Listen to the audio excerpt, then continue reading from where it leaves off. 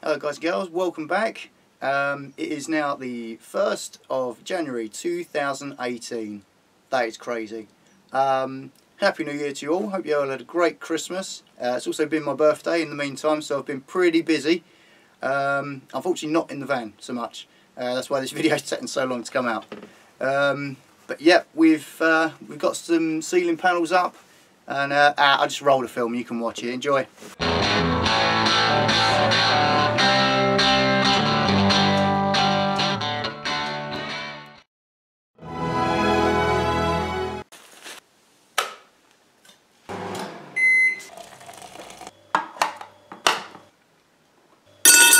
Hello guys and gals, it's uh, Saturday the 25th of November. Uh, it's technically freezing outside today at 0 degrees Celsius. Um, but today we're going to try framing out the uh, shower area and the shower unit and where the water tank's going to go at the back of the van. Uh, so let's see how we get on. Num num num num.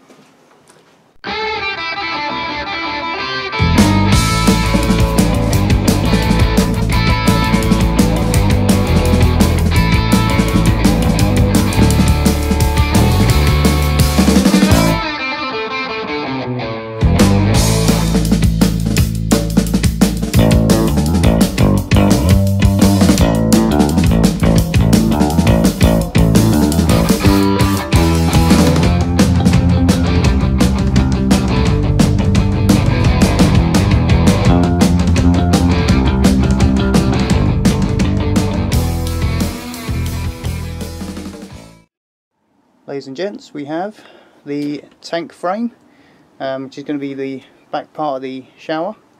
Um, if I lay this on the floor actually, give you an idea of how big the shower is. It's about there, you won't see that blue line on the floor there.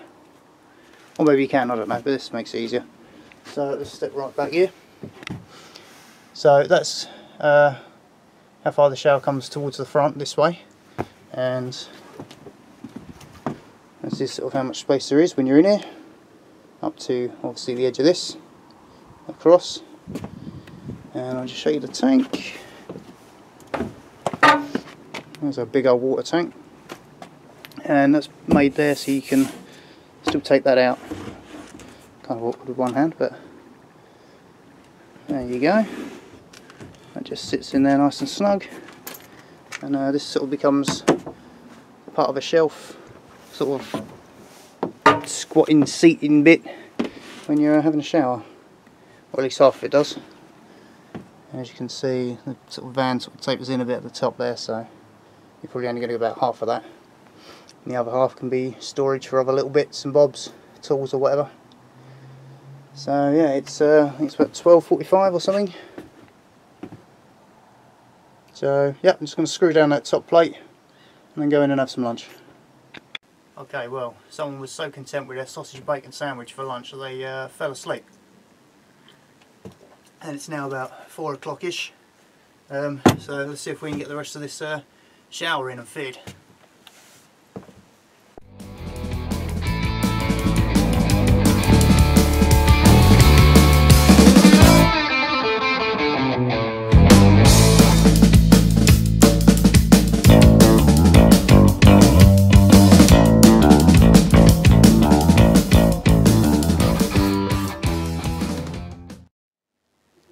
Alright, so we've been out here for another about three hours now, it's about seven o'clock.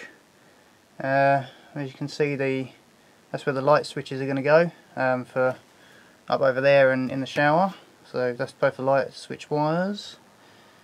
Yeah, I think I'm just going to finish off finish off in the back corner, right over there, down there somewhere, and uh, get that bit of frame in and then call it a night because I'm starting to get hungry again. Alright, so we've got that far corner uh, sort of part of the frame in now.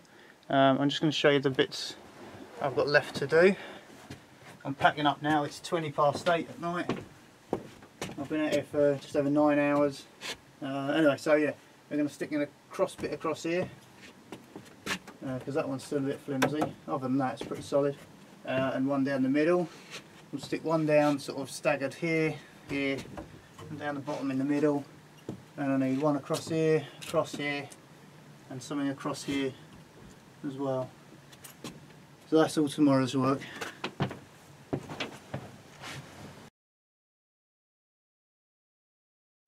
Alright, Monday 27th of November. Um, I was ill yesterday so didn't get a chance to get out and finish what I was going to do on here. Um, I'm leaning up against this just to show off how strong it is. It's pretty pretty uh, pretty well in there but we're going to put some more cross braces in just so we've got something to attach the ply to and uh, yeah today's job probably get that done so I'm going to crack on. Okay so now it's about 10 to 8 in the evening. Um, should we have a look see how far we've got? Yeah, I think we should.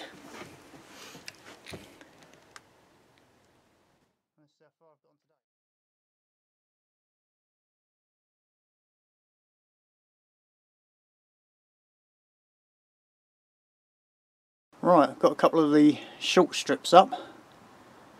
But now it's time to deal with the longer stuff. The ones that's going to run almost all the way along here. Or at least as far as it can along there. And on the other side and that is why I needed the other workbench so I can work on this so off we go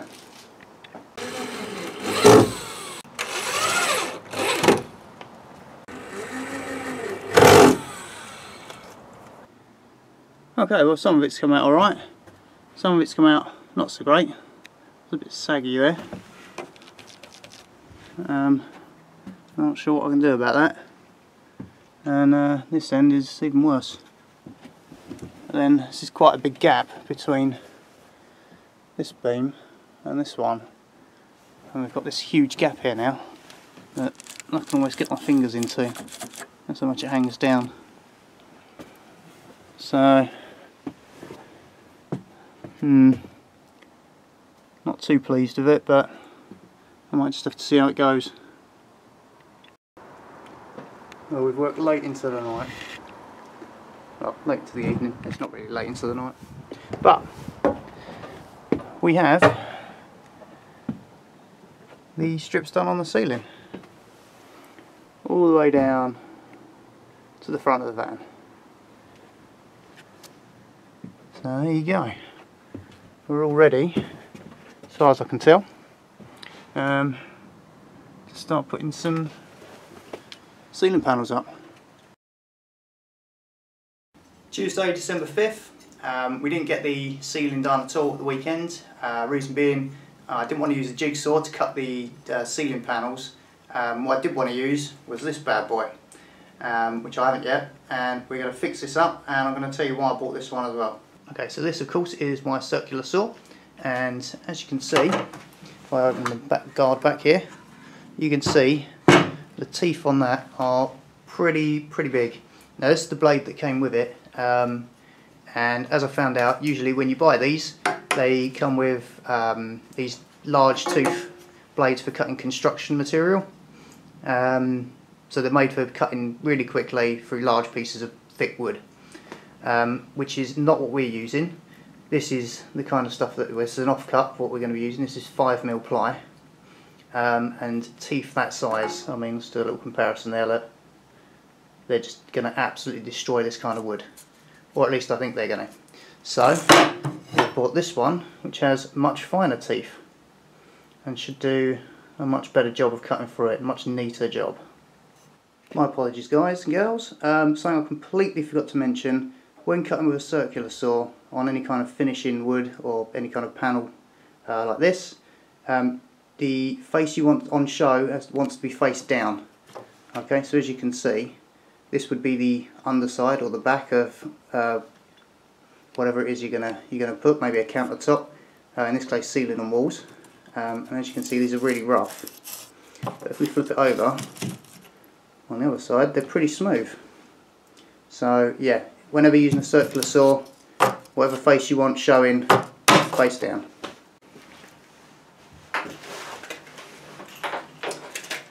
Okay, so I've been taking some measurements in the van and it turns out that I don't have enough plywood to do the whole ceiling and what I don't want to do is use two different batches of plywood and uh, have a kind of patchy, different coloured looking ceiling because it's going to look awful. So I'm going to try and work out plan B. Time for some maths. 3,200 mil. So it's 1,360. 610. Oh, I did it 7 by 610. I'm losing my freaking mind. So 7 times 610 mil. 1390, not 1360. That's enough to do the whole roof. That's good news. Okay. Ah. Have a plan B. I've got seven MDF boards, these MDF boards, uh, which are long enough to fit widthways across the van, and enough of them for it to fit all the way down the top of the van as well. So instead of ply and uh, using oil, we're going to put these MDF boards up instead and probably give them some sort of creamy coloured paint uh, to try and keep it in with that sort of old school railway carriage kind of styling. So yeah, plan B, let's do it. So it turns out the old circular saw cuts MDF pretty damn nice. Okay guys, so I've had a little idea here. Instead of cutting these one at a time and setting this up, fence up and everything every time, Look, we just stack all these boards one on top of another, take a great big circle saw and cut the whole lot of them the right length, all in one go. Let's see what happens. Alright, here goes nothing.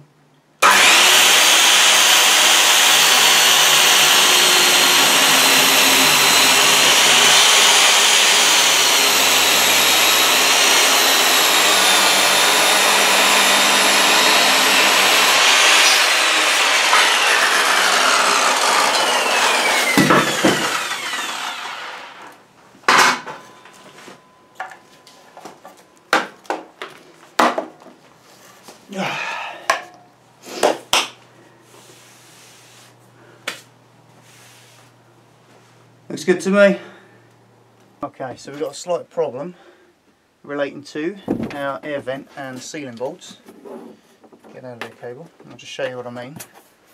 Now, I need for one of these bolts to be right in the centre, or sorry, for that vent to be right in the centre of one of these bolts. Because if I have it off to one side, and then I have another one here, and they don't line up, it's going to look shoddy. I don't like shoddy, so I've got to try and measure that in a way that it's going to be exactly in the middle of that board.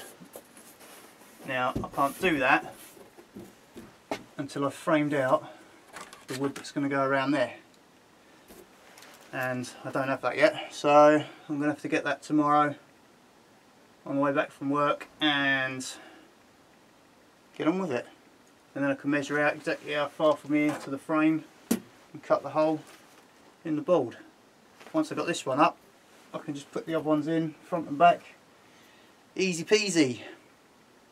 But yeah until tomorrow I can't do that unfortunately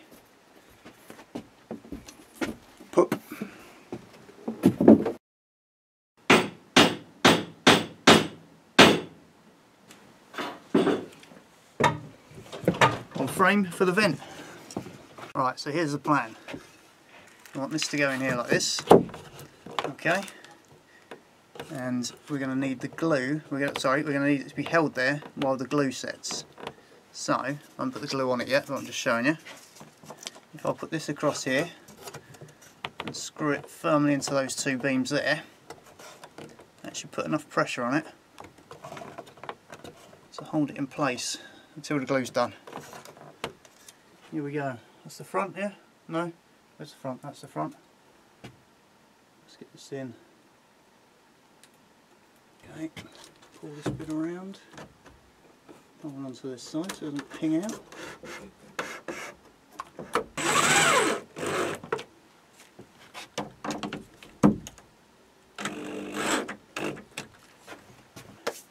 Fantastic, so let's get that glue cleaned up and uh, leave overnight to set I suppose.